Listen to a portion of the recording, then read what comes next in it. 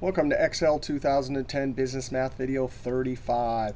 And if you want to download this workbook, Excel 2010 Business Math Chapter 3, Section 3.5, click on the link below the video. In this video, or in this chapter and section, we're talking about rate of change, increase, decrease problems, and we have a bunch of stock values. And we're going to do, we need to go figure out what the current price is for each one of these stocks. So for example, on May 1st, 2007, we bought Amazon for 38 bucks. We need the current price, and then need to figure out the rate of change, either up or down. Now here's the cool thing. There is a built-in feature. Here's the ribbon tabs. If you click on Data, over here in Get External Data, there's a button that you can click, and you the dialog box will uh, open up and it'll say, what stocks do you have? And you'll highlight these stocks, and it will go to through in the internet through the Microsoft site and get the current stock market values for these uh, stocks here. All right. Now the trick is we're going to uh, go to existing connections and just click it. We're going to dump what's called a web query uh, down here that will list all of the stocks uh, from up here, but all the current values. And the cool thing about this is, is we can refresh it any time, and it will go back out to the stock market and get the current value. So our table will be linked to the internet, to the stock market in essence. Now, I'm shooting this on a Sunday, so the stock market is not open.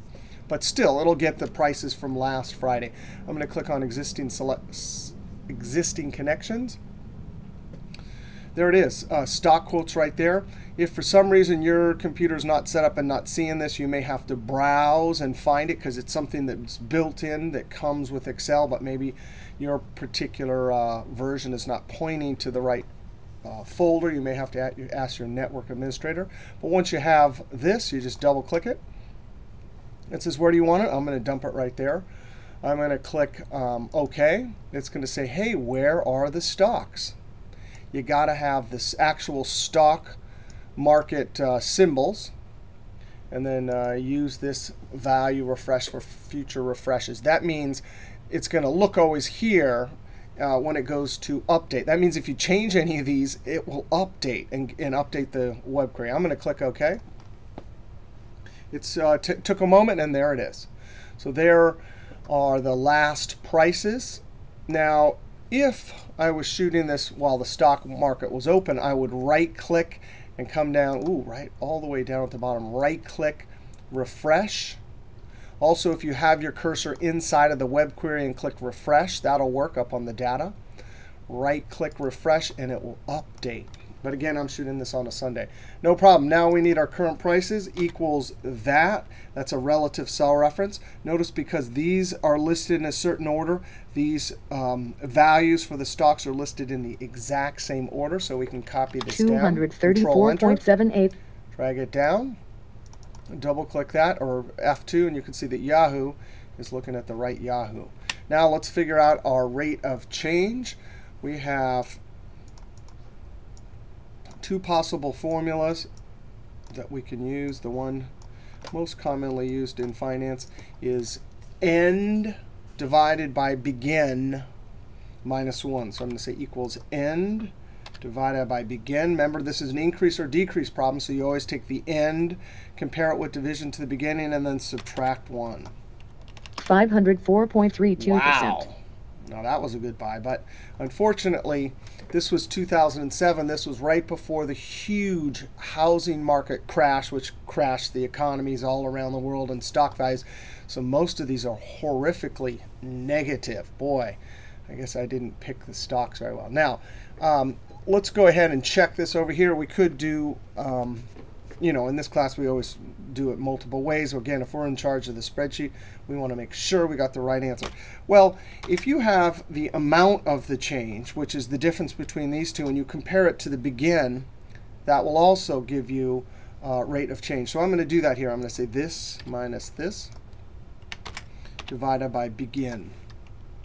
5.04 and is that the same? That's not this. Oh, this has got formatted. This was already formatted. This is not. So I could simply come up and go, if I wanted to do percentage, I could say, and there we have it. Um, one last thing. Okay, so for this class, um, well, this is just an example of a a really good business example when you use percentage change up or down. Um, I'm going to do a little trick here. I want to highlight the row when it's red, and this is not required for this class. Now we're going to use conditional formatting.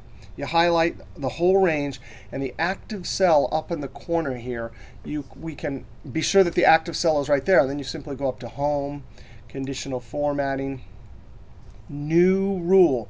Now what is conditional formatting? It means it will format it based on some condition.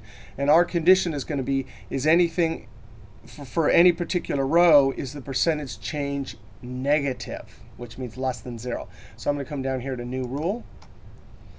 I'm going to uh, use a formula. I'm going to click right here. And active cell is right there, so I have to select this percentage change. And there's two dollar signs, one for the column and one for the row. For this to work, you have to hit the F4 key once and twice. And I have the dollar sign only in front of the column reference and not the row reference. Then you say less than 0. Now, less than 0 means if it's 0, exactly 0, which means no change, it won't show up red. All right? So I have my little formula there. I click Format, and then I add whatever. I'm going to add red fill, and then font white.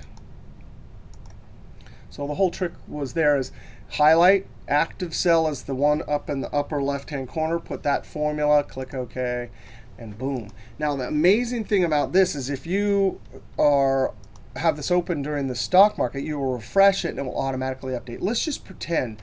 I'm going to say Krispy Kreme actually was, I'm going to type it in right here just so you can see how that's conditional, right? I'm going to type uh, $15. Now, because 15 is bigger than that, that means the ending value is bigger. That means this will show up as positive, and it should no longer be red when I hit Control Enter. 15. And there we go. All right, um, percentage change up or down for stock values. All right, see you next video.